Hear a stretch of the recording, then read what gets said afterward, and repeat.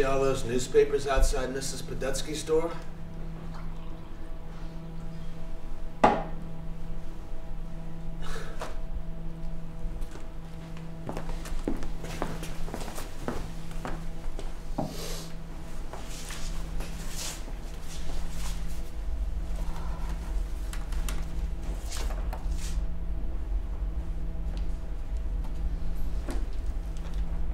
What's the matter?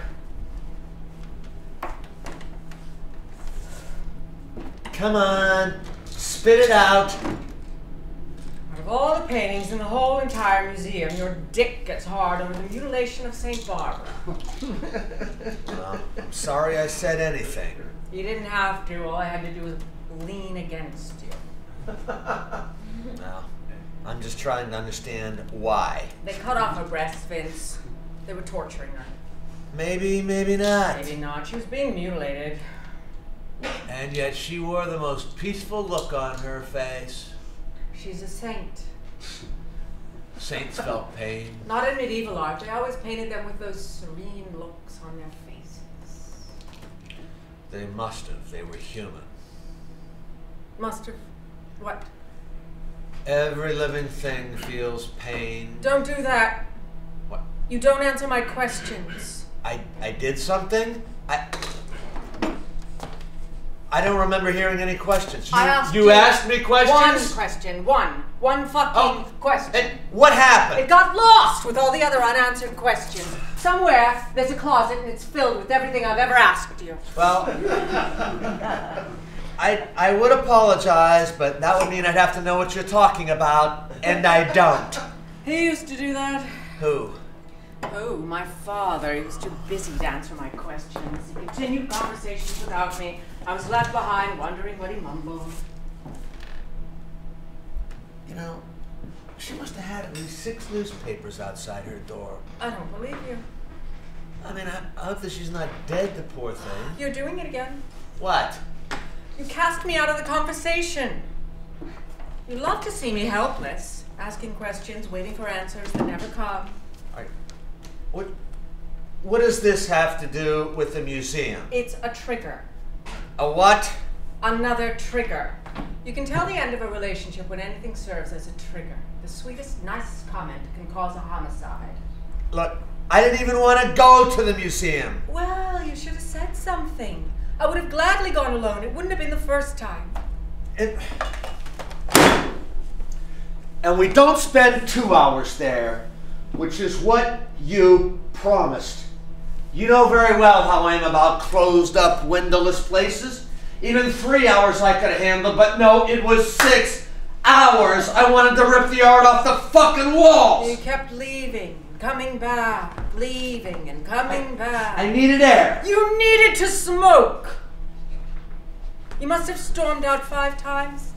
I could have enjoyed myself a lot more without a screaming four year old by my side. It was six fucking hours! Why do you have to yell?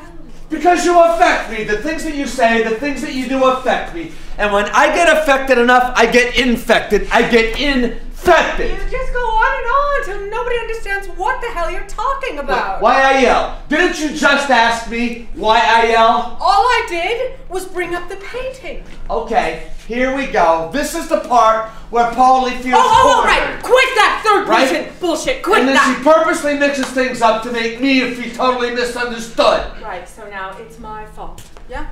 You and your fucking games. You have to stop that. You have to stop fucking yelling. Just Yeah, you think that's yelling? That's not yelling. This is yelling! asshole, you asshole. You are just never straight about how you feel. You you keep everything inside. You you, you store it up until then that one night, like tonight, then when I'm not expecting it, and then wham, you just hit me with this shit.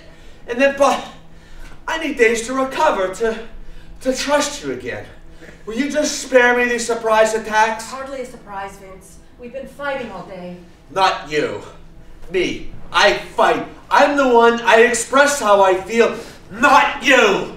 You just pop a pill. I'm the one that makes an ass out of myself in public. Not you.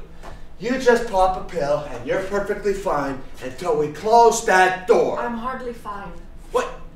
You never admit anything. Even when you're upset, even when your insides are ripped apart, you don't admit it. You're like this piece of ice that doesn't melt. How can you be everything inside? I mean, don't you just want to explode? If I did, you wouldn't even notice. You'd never hear. You enjoy this, don't you? No, not at all. Bullshit!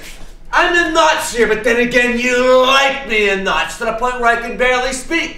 Just twist them this way, twist them that way. One day I'm just gonna dive out that fucking window. You like yourself too much. You couldn't imagine life without you. Oh God. God. That window is just a window. It's a hole in the house. Some people look out them. Some people jump out them. But you, pretty Polly, you want them all sealed up. Hey, don't you dare touch those curtains! Now that's you. That is so you. How apra fucking po. Just like that fucking cell you locked me up in all fucking day. It's called a museum. Yeah, and then you ask me why I yell. Oh my god.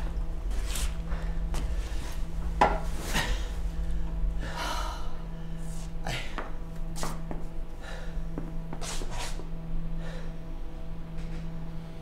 Would you would you care to hear my theory as to why? I know why you yell. no. You have no control. God damn it. I'm talking about the museum, about the painting. I'm waiting.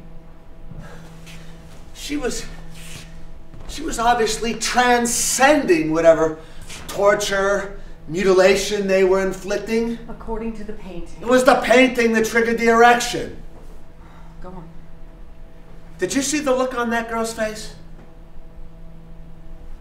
I mean, nothing could dim those eyes. They they saw something. Something divine. And Oh, I'm listening. Go on. that accompanied with her beauty, she was she was blonde, topless, gorgeous tits. Bleeding.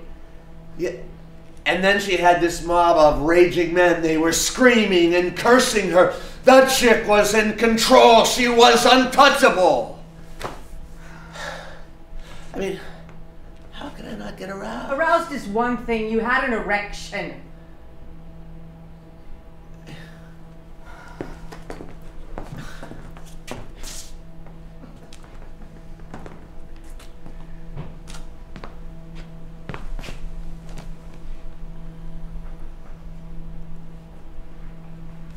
Maybe. Maybe it's because I was leaning. Because what? Huh? You're What? Keep me in the conversation, please. Leaning. I was leaning Oh, leaning. against, against the brass guard Vince, I'm totally lost. in front of the painting. Oh, the brass guard. So You know, it's a physiological thing. Sometimes, you know, your dick touches something and it gets hard. I'm sorry, but these things happen. So it's because you. I was leaning against the brass guard in front of the painting. Maybe, Go on, go on. maybe it was a combination. This is getting good. A combination, you know, of the of the painting of Saint Barbara and then that hard smoothness of the brass bar against my groin. Took me back to Catholic school when the when the nuns would take all the kids to church. I just remember how good it felt to lean into the edge of the pew, just slowly, you know, grinding against it.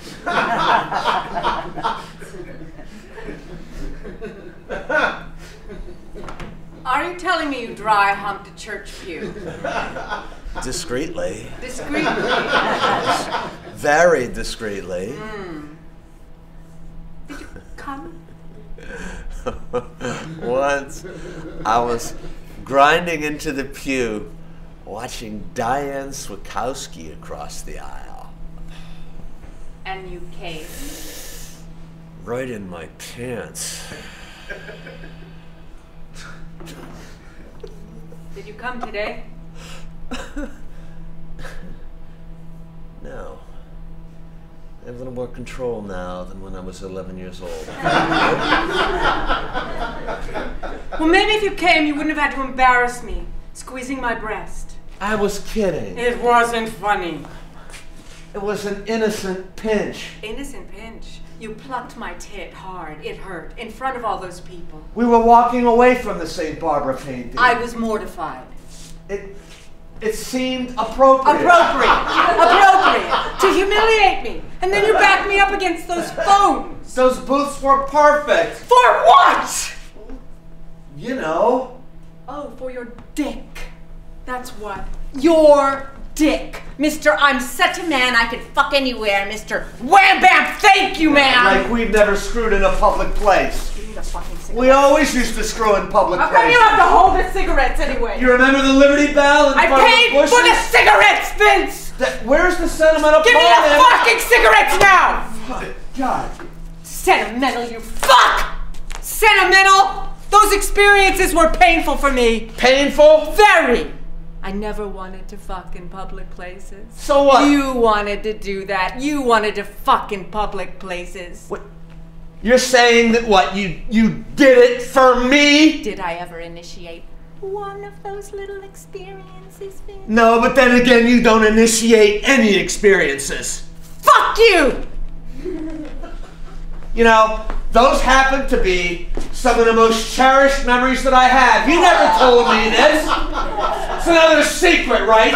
You and your fucking secrets. It's been six years and you never told me this. How come you always need words anyway? Because I'm a human being, alright? In case you haven't noticed, we have a hole in the head and it talks. If it was so painful to you, then why didn't you ever just stop me? I learned to ignore it! Like a lot of other things. As a matter of fact, I've gotten so good at that I can now go entire days, weeks, months, years, totally ignoring my feelings. No, That's not my fault. You don't listen.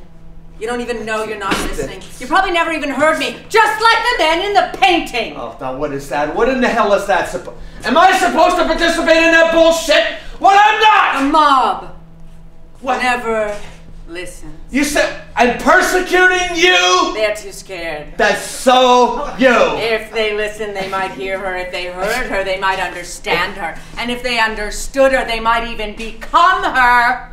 And if they became That's her. That's so you to put yourself into her shoes to justify all of your nonsense by looking away like you I did am into that pie in the sky away. instead of dealing with me I'm- right here I'm and dealing- right now. I'm fucking dealing She with compares herself with a fucking saint. Do you want to cut off my breast? Would you even feel it? You heard. Stones You feel would- no you- pain. You would do that. Yeah? That's what it would take. I'd love to cut you. Stones! Yes? Just I'm not to let you stone. feel I'm not fucking You're stone. a fucking I'm stone. flesh. And flesh. You, feel fucking nothing. never had the hands to feel. Yeah, Fucking I'd love to asshole. cut you, well, you then fucking fuck- bitch. Go ahead, You motherfucker. fucking do cunt. it. You fucking What? coward. You fucking fuck- do it. Fucking Yeah? cut him off. Yeah, you wanna play? motherfucker. You cut fuck- fucking off. the motherfucker. fuck? Get a fucking corkscrew. You Huh? fucking asshole. You wanna play? You're all a fucking assholes. Nipple. You fucking ass. You fucking Fuck. asshole. You- You're I hate you all. Fuck! You fuck! You fuck! What the fuck?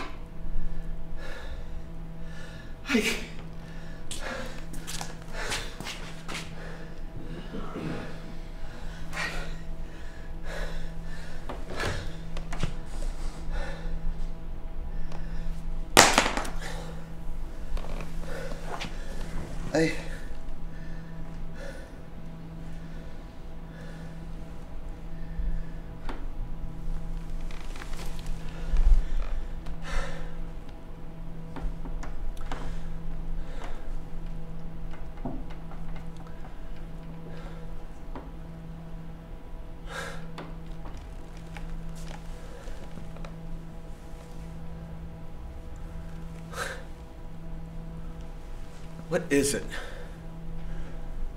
that keeps swindling us into thinking we can work things out? What the hell happened? There was a day when I did actually believe in you. I remember when I believed in you. Do you? Yes. It felt good.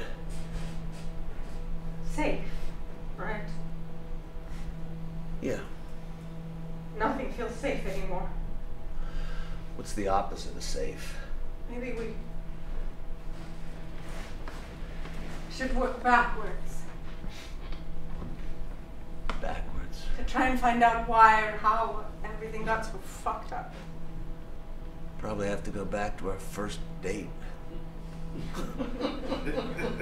Which was coincidentally at the museum. Which was your idea? I didn't know where to take you. You still don't.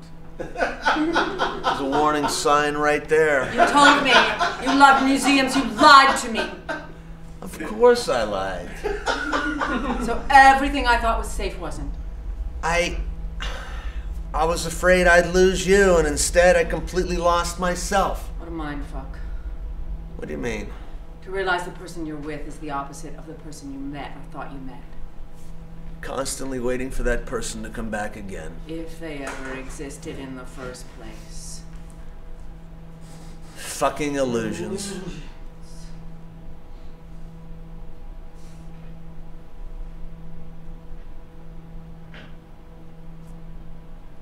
Living in ridiculous hope.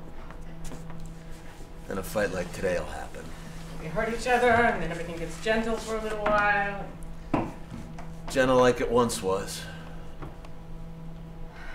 Before the curtains open. Before the noise.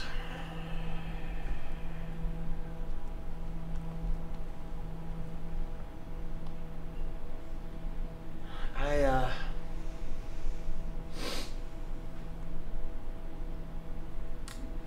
I want to knock and see if Mrs. Podutsky's still alive.